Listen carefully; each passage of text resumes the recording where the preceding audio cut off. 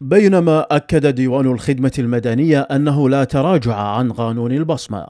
باشرت وزارة التربية حصر التكلفة الإجمالية ومخاطبة وزارة المالية في تعزيز الميزانية الملائمة لأجهزة البصمة. بالنسبة عندنا حق قرار تطبيق البصمة.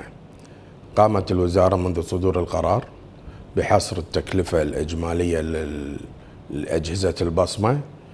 آه، تم حصر التكلفة بالمبلغ المطلوب.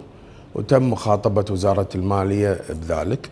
طبعا إحنا كوزارة بانتظار رد وزارة المالية على تعزيز ميزانيتنا لتوفير أجهزة البصمة.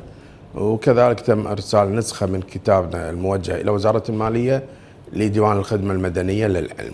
استعدادات وزارة التربية لبدء العام الدراسي قابلها توقيع ثلاثة عقود لتأثيث المدارس والإدارات المختلفة وعلى عدة مراحل. عقود التأثيث. آه، لله الحمد تم توقيع لهذا العام ثلاث عقود لتأثيث المدارس والإدارات المختلفة بوزارة التربية. وبدينا باستلام الأثاث على مراحل. طبعا كل عقد مدة توريده 90 يوم.